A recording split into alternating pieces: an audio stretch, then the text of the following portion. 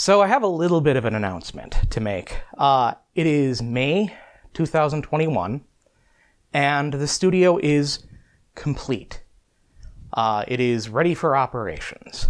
And what you're going to see over the next few weeks are all the work that we've done in the last few months. Um, because I've been keeping something from you, and I kind of don't want to talk about it, but I, I, think you should know because there's going to be a long gap. I mean, not like I have a ton of viewers, and in fact, if you have any ideas on how to change that, I wouldn't mind listening to you. Um, but uh, right about the time I started this channel, like maybe a few weeks after, uh, when I was just getting ready, uh, episode one had just launched uh, I got a call from my doctor. Now, you see, a year or so ago, I had a gallbladder attack. Big surprise, right?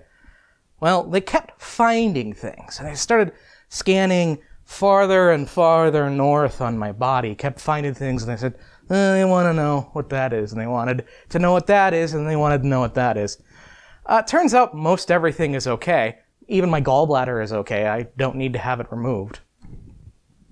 But um, I got a call from the scheduling department of my medical insurance, and I'm very happy to have medical insurance at this moment, saying that I need to schedule an MRI uh, to take a look at that mass in my brain that my doctor told me about.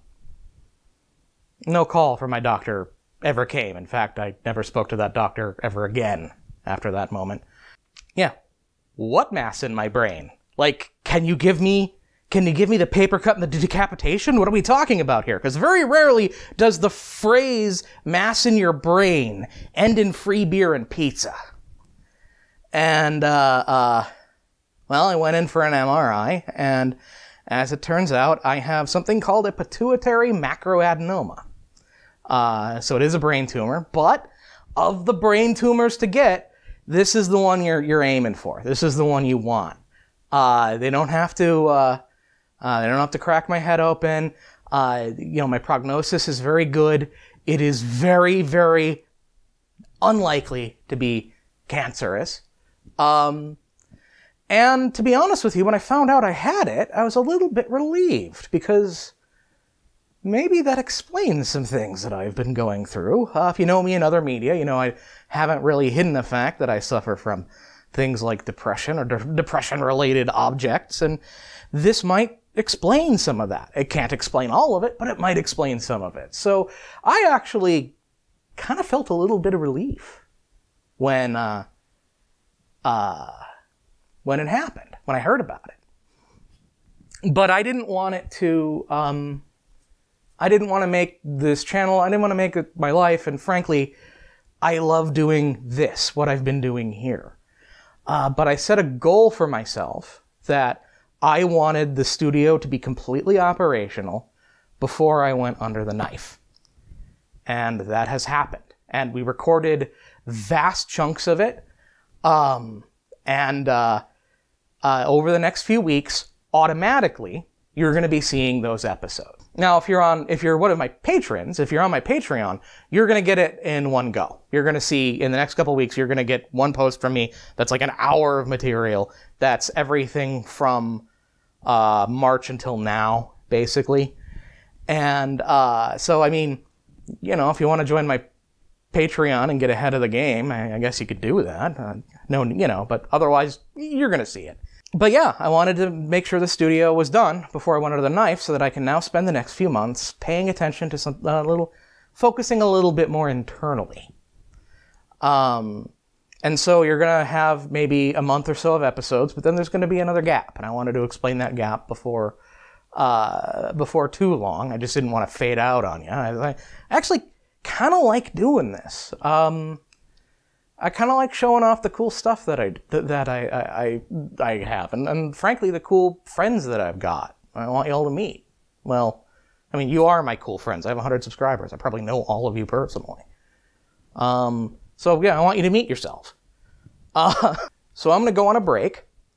You're going to see the completion of the studio. You're not going to miss a thing. And then there's going to be a little bit of a gap. And then I'm going to come back.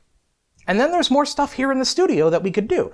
For example, we need to do uh, the sound treatment in the room. We haven't done anything in sound. It's actually pretty echoey in here. We need to do something about that. We've also mentioned a couple times the hat rack. Uh, which is the replacement for the guest table. The guest microphone table is temporary. I have this design for this idea for a table for the guests that we're going to be implementing when I come back. Um, there were two methods I was thinking of that uh, Sharon and I were going over, and the two major ideas we decided on was something we called the hat rack and something we called the chandelier.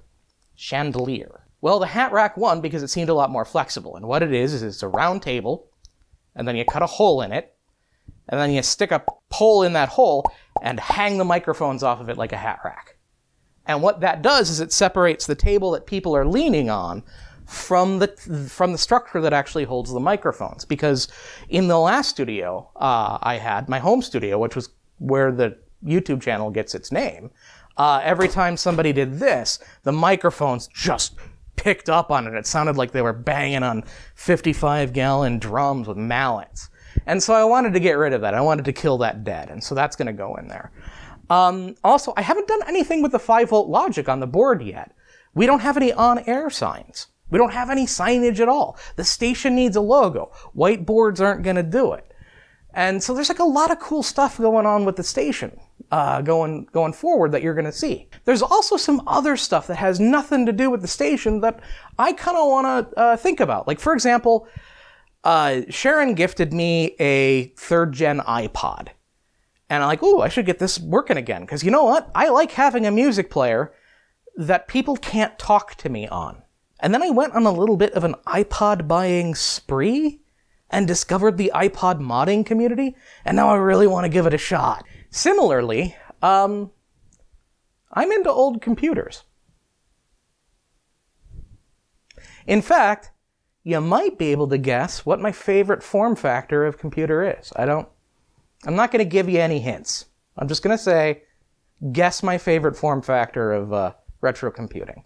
Man, I've been into old computers for a long time. I'm, I'm really excited that retro computing, like there's a retro computing section of YouTube and whatnot. I love that stuff because for me, a good weekend for years was uh, a six pack and a $20 computer and a screwdriver. Like that was my weekend. I love doing that and, and, well, I guess it shows. Uh, I have, I'm kind of turning my house into a, a retro computing museum. Um, I'm, I'm, and so maybe I could show off some of my work there. The other thing I'm thinking about is actually building a completely separate radio station. Uh, a part 15 AM station, a 100 milliwatt AM station, as a way to sort of show off the software side of the radio station that was already configured and running when I started Waveform Orchard. So it would be a way to show you what uh, sort of the way I, I, I, do the, the back end of radio, like like the stuff between the microphone and the transmitter. So that, that might be something I do. It's, it would be a way to show off more open source software. Uh, because, well, I achieved my goal. Everything uh, right now, save for the EAS box, because it has to be FCC type certified, everything between the microphone and the transmitter is open source software. It was either stuff that I, uh, stuff that was just off the shelf that I could use, stuff that I modified, or in a couple cases, stuff that I kind of wrote because to fill a need and I'm going to keep doing that. One of the things that I'm hoping to work on is a free seven second dump, uh, because that's not a feature that most LPFMs have, and uh, maybe they don't want it, but it would be. It actually seems like kind of a fun project to do, so I may give it a shot. And then there's improvements to the show. The sound quality is subpar. I know that. The camera work is whatever. Like, I'm, I'm going to invest in a, in a shotgun mic. Uh, that's really the might right microphone for this task. Uh, I know studio microphones and stage microphones. I I'm not a video guy, and and so this is all new territory for me. And then um, yeah, I guess I'll stick with it. You know, maybe see if I can get more viewers in. I have I literally have no idea how to do that. I uh, ask an atheist. It was a it was a you if you build it they will come kind of situation. But that was 2010. That was 11 years ago uh, situation was a little different then. But I really enjoyed this adventure.